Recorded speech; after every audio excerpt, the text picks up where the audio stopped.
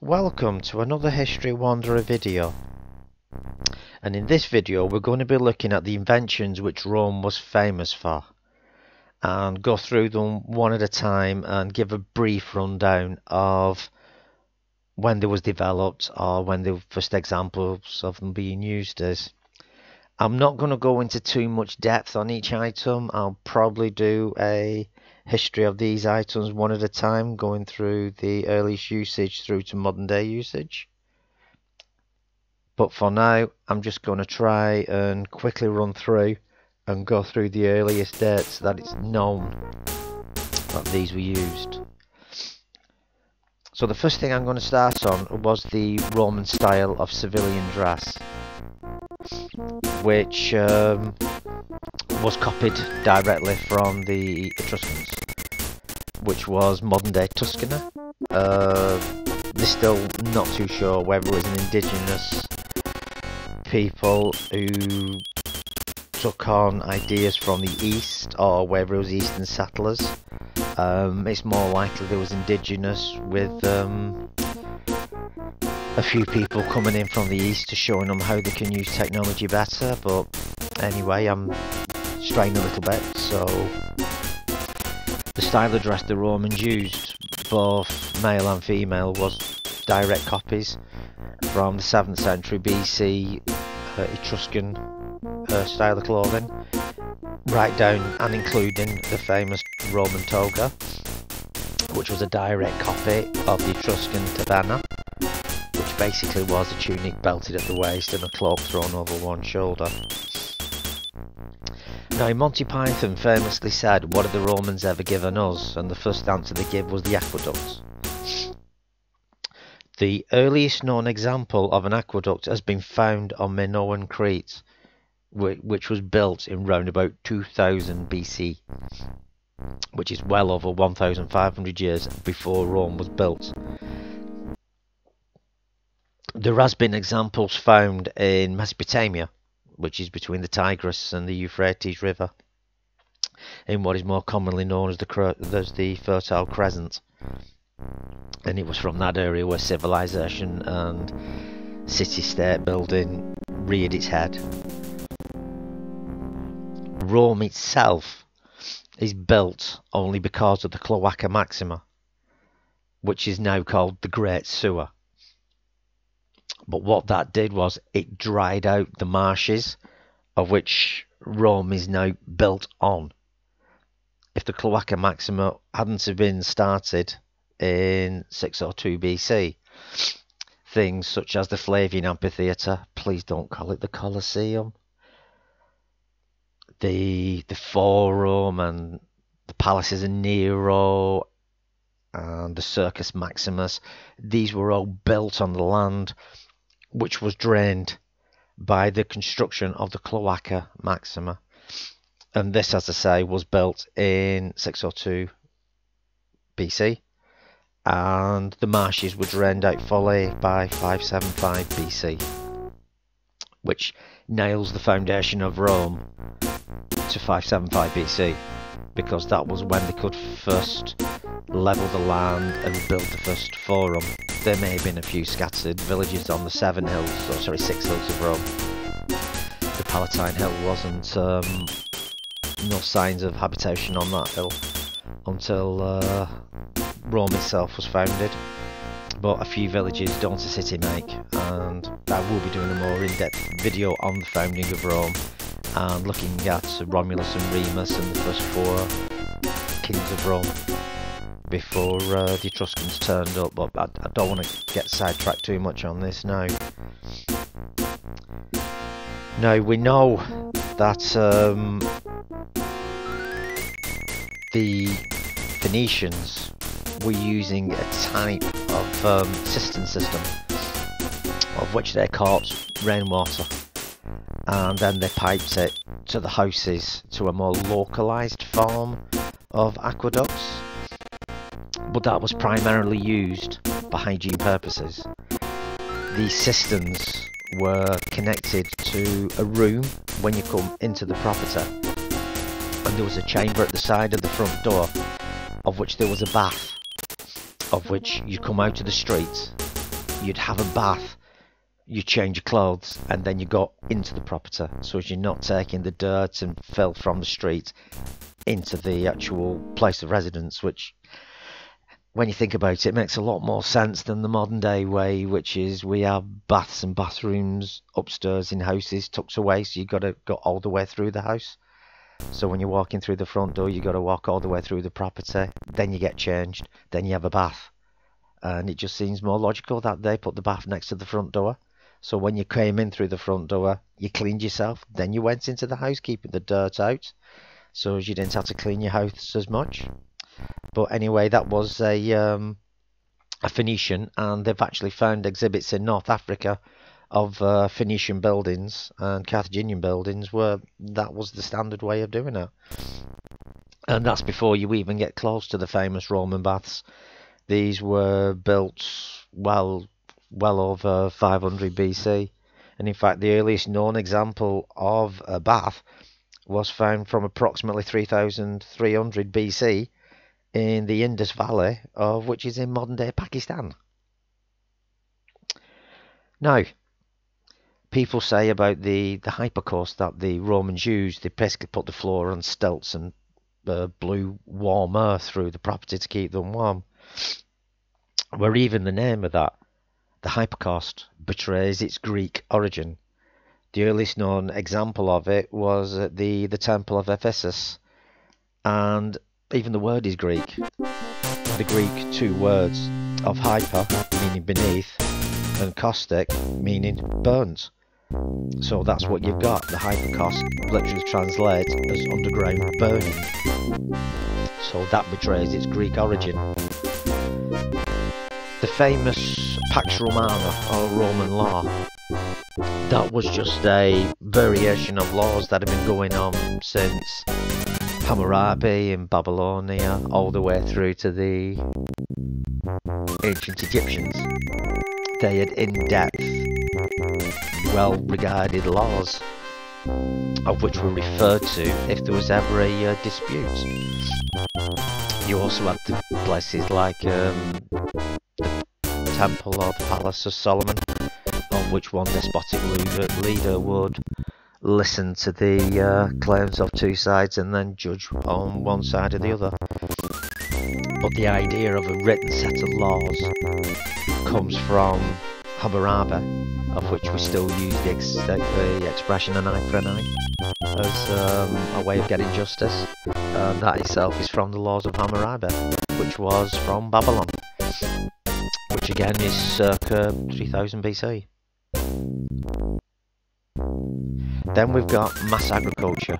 Rome is famous. I mean, even Gladiator has Russell Crowe walking through swathes of um, crop, putting his hand through all the weeds and everybody knows Rome primarily as their agricultural heavyweight. And Rome's Bible, if you like, was the Agri Cultura by Cato the Elder, and also the De Re Rustica by Marcus Tertius Varro. But what they hide is the fact that these are both Latin translations of the Rustitaco by Mago the Phoenician or Mago the Carthaginian. Because the first thing Rome did after the sack of Carthage was take his works and translate it. So that shows that the agricultural basis was stolen from the Carthaginians which takes me nicely onto uh, Roman shipbuilding. The ships that the Romans used, whether it's the, the trireme, the quinquereme, they were direct copies of the Greek and Phoenician ships. They couldn't even be bothered to change the name. They just kept the same names going. Even the merchant ships were direct copies of the ships that the Carthaginians found so easy to sail from Phoenicia, which is modern day Lebanon, where you've got Tyre, all the way through the Pillars of uh, Hercules, as it was then, all the way up to uh, Cornwall in in England. the seaworthiness of these ships was that good that the Romans just adopted them and used them.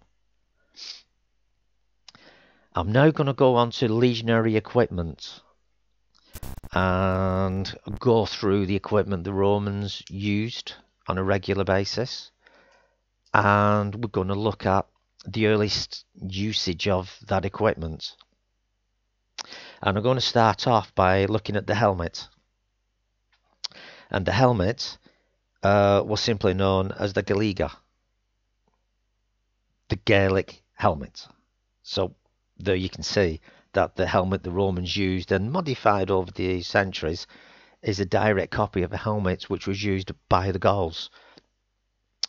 It's not too sure. Uh, it's more likely on the far side of the Alps and made its way over the Alps in time. But um, yeah, the helmet that the Romans used is a direct copy of the Celtic type. Which then leads us down to the shield or as the Romans called it, the scutum. The early Romans relied on the Greek hoplon, um, which is a round shield, and they formed a phalanx. But when they come across the Gauls who fought in a more flexible way, they had to find a more flexible way of fighting the Celts. So basically, they adopted a type of their tactics. But to do that, the hoplon doesn't give full protection so they copied the the Greek and Etruscan shields, which was large oval shields which give protection to one man.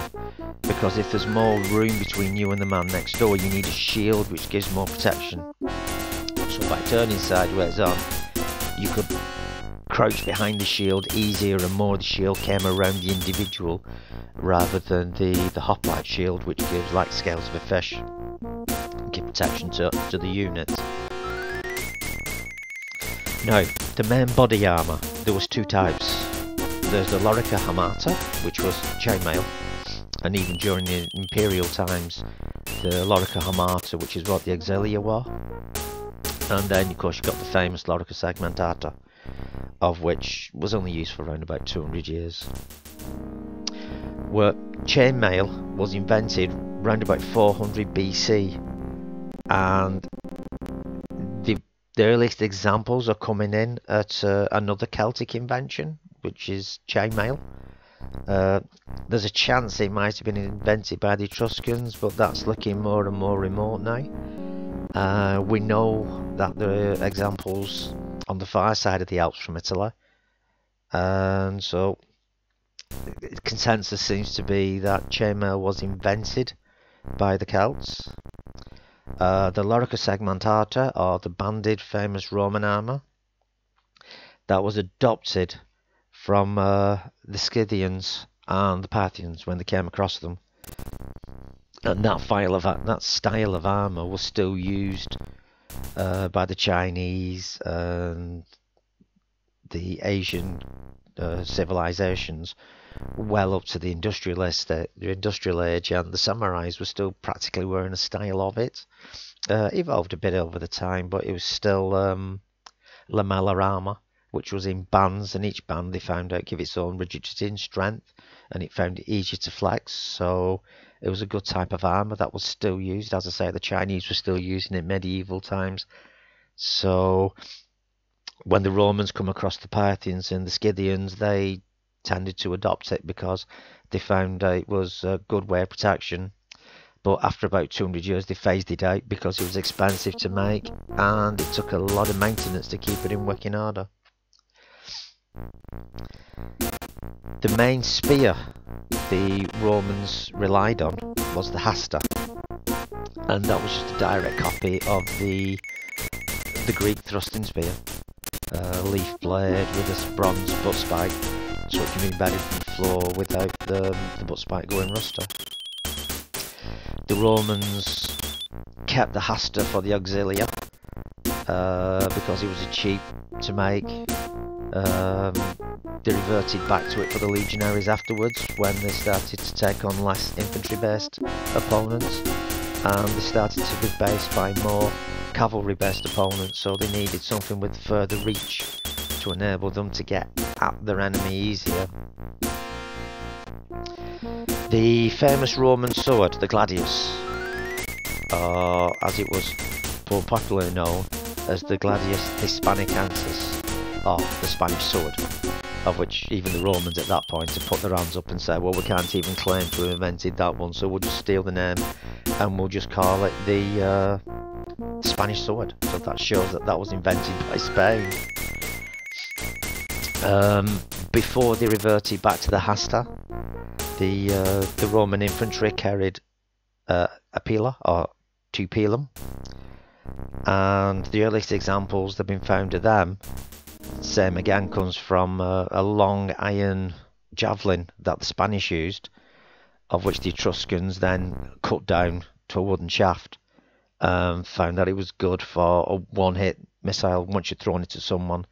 The, the the iron head warped and bent so it couldn't be thrown back. So the Romans, in typical Roman fashion, just adopted it and took it over and made it part of their own armour. So there you go, a quick rundown of the famous things that Rome is known for. And well, none of it was actually invented by Rome. Romans were just good at putting bits of metal into people and killing people.